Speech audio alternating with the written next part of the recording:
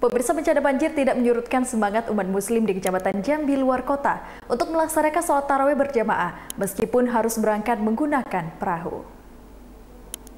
Berbeda dengan tahun sebelumnya, pada tahun ini warga di RT 3 dan 4 Desa Pematang Jering Kecamatan Jambi luar kota Kabupaten Muaro Jambi menggelar ibadah terutama sholat taraweh di tengah suasana banjir.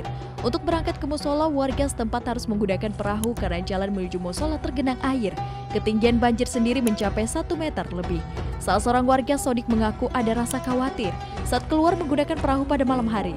Pasalnya jalan menuju musola minim penerangan. Mungkin kalau masuk ini sudah hampir tiga bulan, bang, sekitaran 250 meter. Dan minimal untuk transportasi ke rumah ke musola kan, itu harus menggunakan perahu. Sementara perahu ada yang punya, ada yang tidak. Begitu. Ada rasa takut bang karena malam hari kan melintas ini. Rasa takut pasti ada kan kita kan tidak tahu kan. Ini kita hidup di atas air kan. Meski dikepung banjir, namun tidak menyurutkan semangat masyarakat setempat melaksanakan ibadah sunnah pada bulan suci Ramadan, yakni sholat tarawih berjamaah di musola. Yasri Hadi, Jambi TV.